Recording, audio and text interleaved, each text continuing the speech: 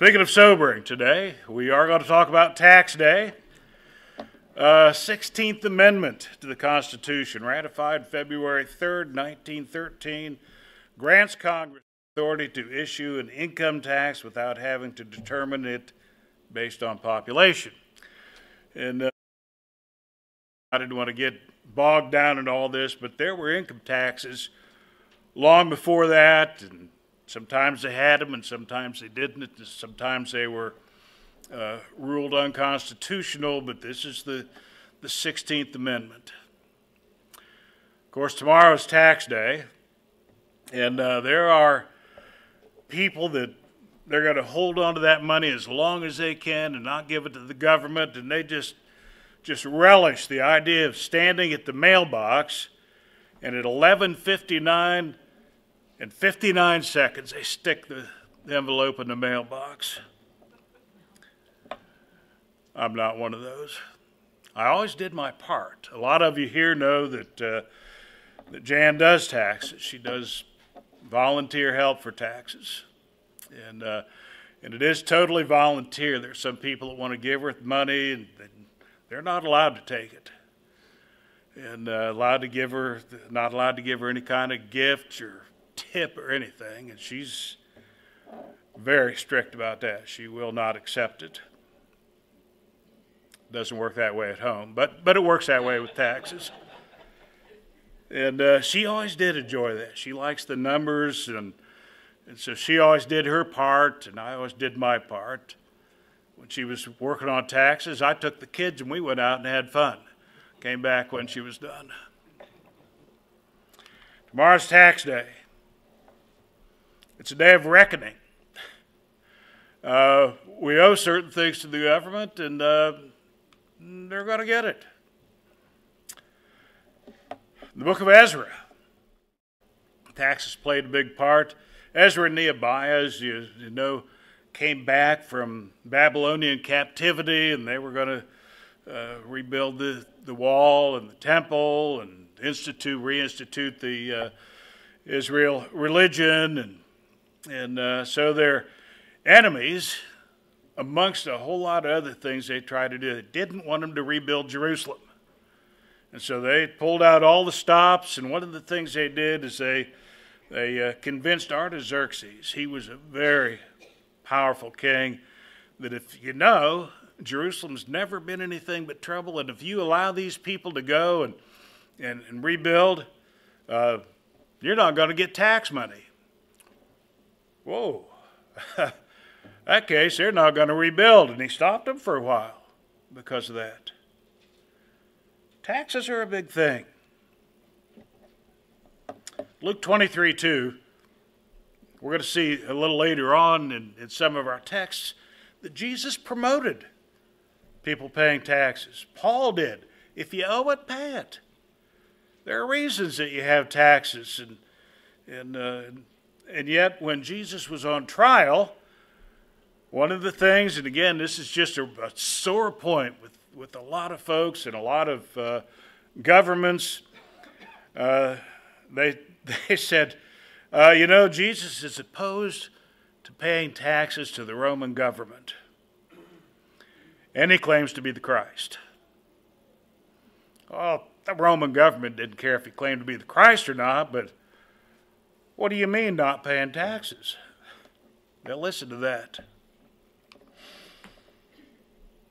Got a question for you. Who said, Read my lips, no new taxes?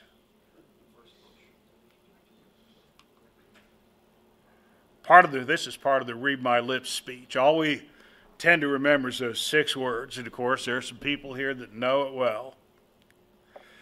August 18, 1988, it was part of his acceptance speech at the uh, Republican National Convention.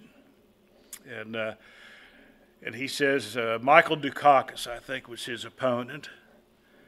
And Michael Dukakis had said, Well, you know, if it's possible, I'm not going to raise taxes. George Bush comes back and he says, My opponent won't rule out raising taxes, but I will. And the Congress will push me to raise taxes, and I'll say no. And they'll push, and I'll say no.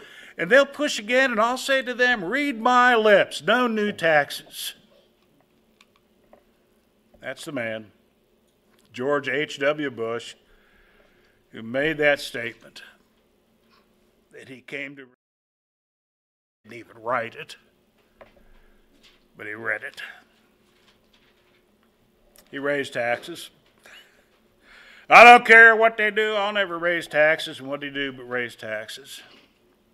And lost his reelection bid. There was a day of reckoning. People remember things like that. We still remember, read my lips, no new taxes. And when you do that, I don't trust you and I'm not voting for you.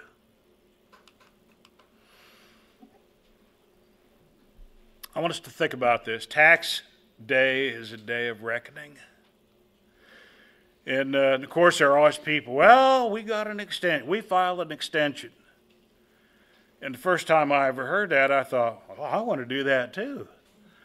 Until I found out you don't just say, I want an extension and it goes for free. What was I thinking? A day of reckoning for Al Capone.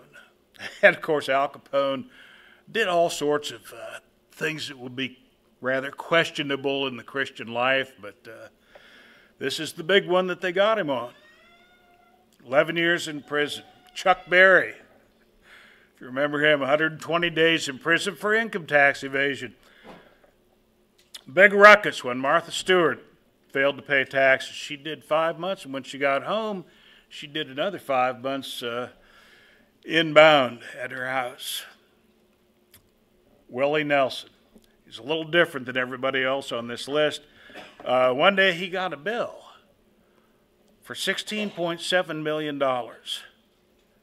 That's a lot of money for most of us. He sold a whole lot of stuff.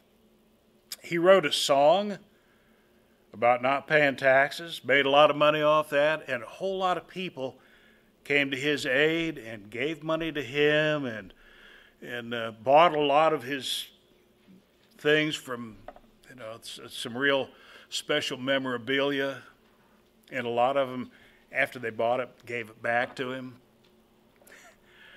Lo and behold, that guy raised $16.7 million.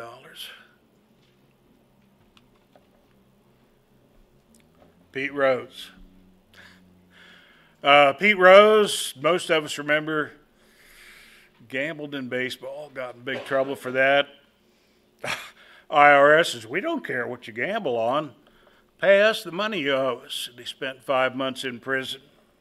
Darryl Strawberry, another well known baseball player, three months in prison because he didn't pay his taxes. And Wesley Snipes, one of the more recent ones, three years in prison.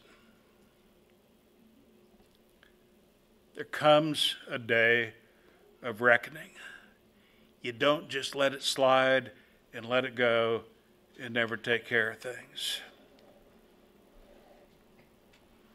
If you're reading along with us in the daily Bible readings, uh, this is a recent one in 1 Samuel chapter 7, and of course in chapter 8 is where our scripture reading came from. In chapter 7, Israel had been without the Ark of the Covenant for 20 years. Uh, Eli's sons were corrupt. They were corrupt priests.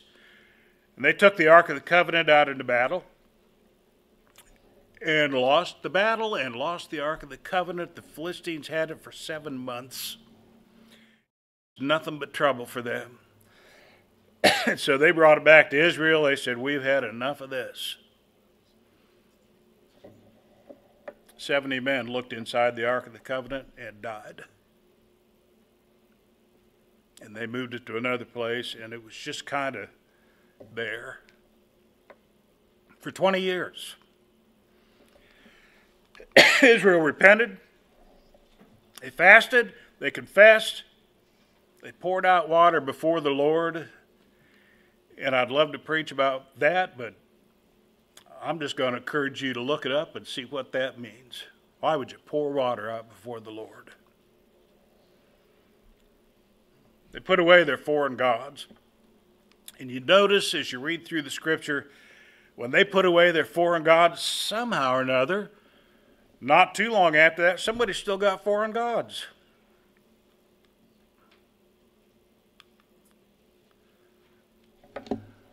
I told you I'd be quick today, Jan. You don't have to help me. She's on the AV team this morning.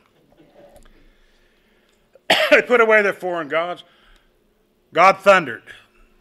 The Philistines was they were an army that there was no way Israel could come close to defeating it, and God made it thunder and made it thunder so loud that they they left. They ran away. God saved them. They were reunited, and and Samuel raises this stone of help and names it Ebenezer. Samuel was old, and his sons were corrupt. And Israel didn't want him. We're not going to go through all this again. And, and so they wanted a king, and Samuel warned them there are going to be taxes, there's going to be a reckoning you're going to have to pay. And uh, this is what Chris read to us this morning. This is just an abbreviated list. He's going to come and he's going to take your sons. Going to have a draft. There'll be soldiers. Some of them are going to be workers on the farm. Uh, your daughters are going to work in the food services. Uh, he's going to come and take your grain, your livestock. If there's something he wants, just got to call it a tax and take it. Samuel said, Someday you will regret it. And you'll come to God, you'll say, We, we made an awful mistake, and He's going to say, should have thought about that earlier. And so they hear about all the taxes and the day of reckoning and what's going to cost them, and, and uh, they say, Well, that sounds good to us. Give us a king.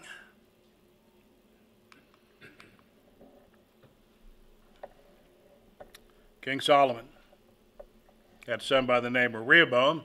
Solomon had the most glorious kingdom that Israel ever saw. He built a grand kingdom at a grand price, and, and uh, there was a queen known as the Queen of Sheba. And uh, she heard all about Solomon and his wisdom and his riches. And, and uh, finally, she says, I got to go check this out for myself. She went down and she had all these questions, tough questions she was going to ask Solomon. He answered them one right after another. He showed her around to all of the the wealth and the buildings and the palaces and the riches that he had, and, and uh, gold and ivory everywhere. And she says, I've been told about this. I thought nothing could be this good, and I came down and found out they didn't even tell me the half of it. How do you think Solomon got all that stuff? Tax day. There was a day of reckoning. The people didn't like it very well. It was at a high cost. And, and, and so when Solomon dies and his son Rehoboam is going to be put on the throne, here's what the people say Your father put a heavy yoke on us, but now lighten the harsh labor and the heavy yoke he put on us, and we'll serve you.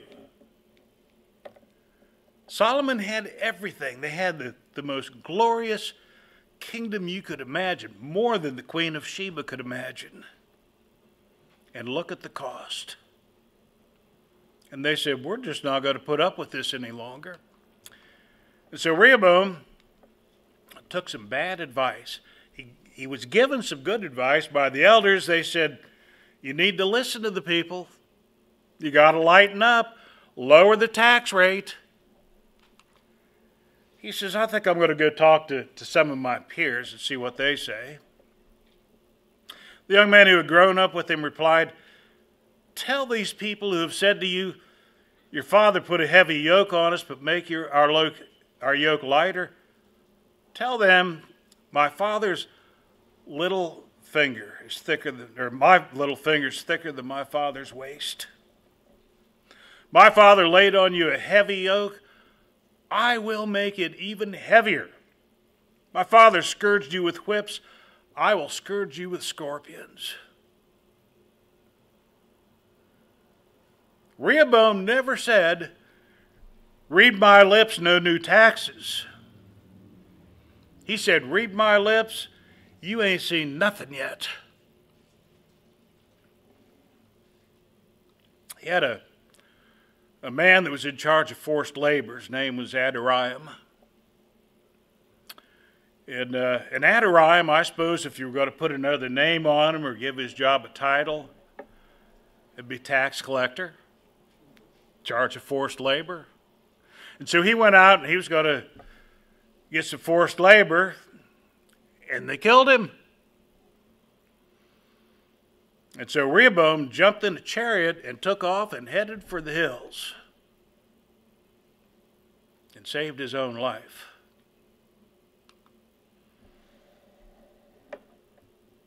Tax day wasn't very popular. Tax day is a day of reckoning. Paul writes about submitting to authorities, and people do all kinds of things with this passage and other similar passages. Well, there's a reason that I don't do that. Well, maybe we should look at it and say, well, there's a reason that I do that. Romans 13, he, he talks about submitting to authorities. Doesn't really talk about whether we like them or not, or whether they're uh, corrupt or not. I mean, it's not like there was never a corrupt king in Israel or Rome. This is also why you pay taxes to the authorities, which are God's servants, who give their full time to governing. Give everyone what you owe him. If you owe taxes, pay taxes. If revenue, then revenue. If respect, then respect. If honor, then honor. It's going to be a day of reckoning. Jesus talks about the temple tax. Could you imagine if we had a church tax? Mike, how many people do you think could shop around a little bit? if we had a church tax. They had one. Exodus chapter 30. When they took the census, every man over 20 years old had to pay the, the temple tax every year. After Jesus and his disciples arrived in Capernaum, the collectors of the two drachma tax came to Peter and asked, Doesn't your teacher pay the temple tax? Yes, he does, he replied. Peter came into the house. Jesus was the first to speak. What do you think, Simon? he asked. From whom do the kings of the earth collect duty and taxes? From their own sons or from others? From others, Peter answered. Then the sons are exempt, Jesus said to him. But so that we may not offend them, go to the lake and throw out your line Take the first fish you catch, open its mouth, and you will find a four drachma coin. Take it and give it to them for my tax for yours. And although Jesus makes his point that he's not bound by their temple tax because he is the son of the kingdom, as a matter of fact, uh, when he went in and threw the money changers out, he said, You've made my house a den of thieves. Belong to him.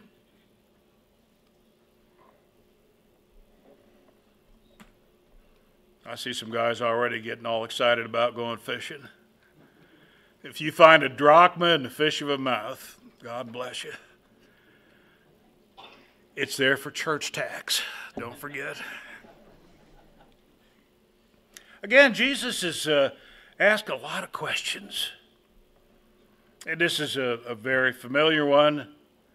Give to Caesar what belongs to Caesar. The Pharisees went out and laid plans to trap him in his words. Now, remember, we talked a little bit earlier about the passage out of Luke 23 2. And Jesus never, I mean, we just read about him paying the temple tax, even though he says we're exempt from it. We'll pay it. Now he's going to say you need to give to Caesar what belongs to Caesar, and when they get in front of, of uh, the authorities in his trial, Boy, you should have heard what Jesus said. He's telling people all over the place, don't you pay your taxes. He never said that. They're trying to trap him in his words, and they can't do it, so they just lie. People do things like that. They sent their disciples to him along with the Herodians. And, this is kind of an interesting thing, too. The Herodians were another uh, sect, another group of Jews who didn't like the Pharisees. They just did not like each other, but, but now they're getting together and they're going to gang up on Jesus because we got this common enemy. Teacher, they said, we know that you are a man of integrity and that you teach the way of God in accordance with the truth. You aren't swayed by men because you pay no attention to who they are. And the only reason they would ever say this is because they're trying to get him buttered up and flattered and lure him into quickly answering this question. They didn't believe this for a minute. If they did, they would have repented. Tell us, then, what's your opinion? Is it right to pay taxes to Caesar or not? But Jesus, knowing their evil intent, said, You hypocrites, why are you trying to trap me? Show me the coin used for paying the tax. They brought him a denarius, and he asked them, Whose portrait's this? And whose inscription? Caesar's, they replied. Then he said to them, Give to Caesar what is Caesar's, and to God what is God's. When they heard this, they were amazed, so they left him and went away. The point I want to make this morning is this. Uh, we, you know, we think about taxes, and we think about tax day, and we think about uh, a day of reckoning, and Jesus really makes a good point here, a great point that we could kind of slide over. He says, You give to Caesar what's Caesar's, and to God what belongs to God.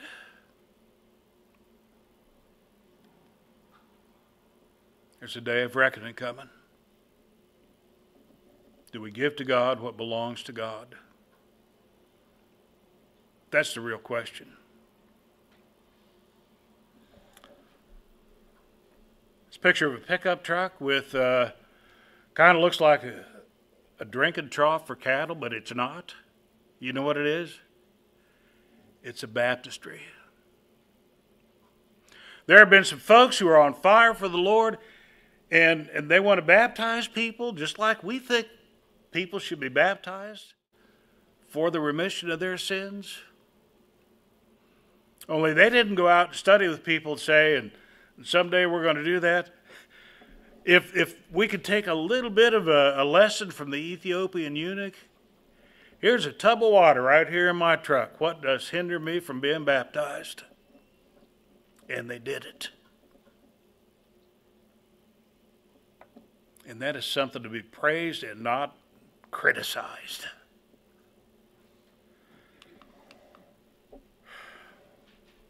There's going to be a day of reckoning. And what is owed is going to come due. Nothing in all creation is hidden from God's sight.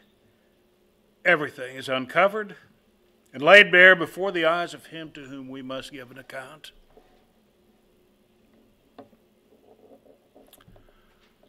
I loved Bill Spindler. I learned so much from him. He didn't teach me about Christianity, he modeled it. I remember one of his stories.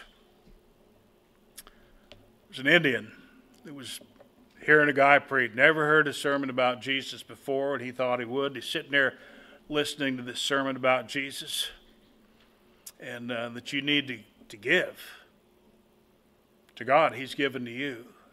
And he heard enough of it that it moved him, and he thought, I really need my blanket. And so I'm going to give it to God. And he took it up and he set it down in front of the preacher. And he went back and listened to a little bit more preaching about Jesus. And he went back up and he took his blanket